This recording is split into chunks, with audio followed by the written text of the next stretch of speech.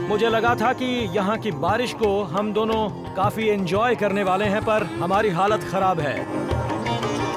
जैसा कि आप देख रहे हैं हमारा टुक टुक खराब हो गया है और अच्छी बात यह है कि रेस में मैकेनिकल सपोर्ट मिलता है। कुछ तो गड़बड़ है भाई। मैं तीसरे गियर में चला रहा हूँ पर ये काफ़ी धीरे चल रहा है। वैसे एक बात तो पक्की हो गई कि हम दोनों लास्ट आने वाले हैं। हिट द रोड इंडिया बुधवार रात 10 बजे। जब चाहो ऑन हो जाओ। एपिक ऑन चलाओ। Available across all devices